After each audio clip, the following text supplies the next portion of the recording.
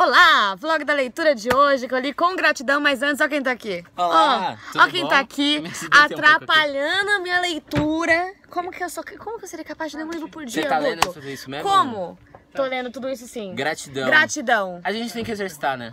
Exatamente. Então tem que ver. exercitar, tem que tentar. Pelo que, que você tá agradecendo hoje? É, por não estar em posição fetal. Por você me deixar gravar o meu vídeo em paz.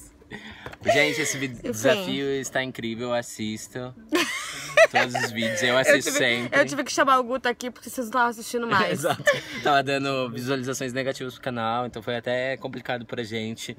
Se puder dar uma força, compartilhar, como é que fala isso? Compartilhar. Compartilhar com os isso. amigos. Poxa, É, bacana. compartilhar, compartilhar. Tá A Tati- quebrando tudo. A Tati compartilhou comigo. Foi show. É, Foi da hora. Se cada um de vocês fizerem isso, vamos ter um amigo aí. Bom, é isso. Compartilha com os amigos, vai lá gravar. Eu preciso viu? gravar outros vídeos. Vai lá, eu vou Que falar de gratidão. vídeo. Aqui a gente grava vídeo. Misericórdia. Eu tô olhando sempre pra cá, já tô perdida. Mas eu tenho que aqui, ó, agradecer por este momento. Foi isso que eu aprendi com esse livro. Mentira. Livro da Cal é. São crônicas é, sobre gratidão e sobre coisas que a gente precisa agradecer no mundo e na vida. É, e me fez pensar muito, assim, né? E aí foi muito interessante porque eu li, tipo, muito rápido. É um livro bem rápido de ler, na real.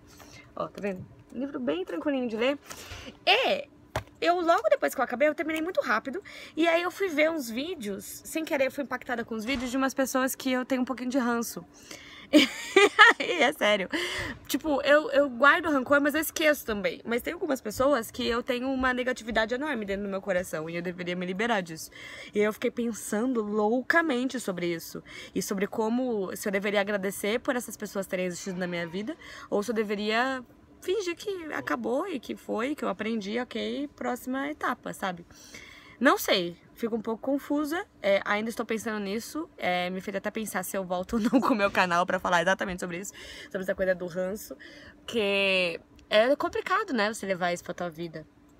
A Cal é uma pessoa que é a escritora desse livro, né?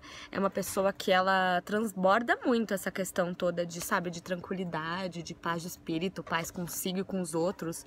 É, eu queria ser um pouco assim. E aí eu pensei muito nisso, sobre metas, sobre tudo, sabe?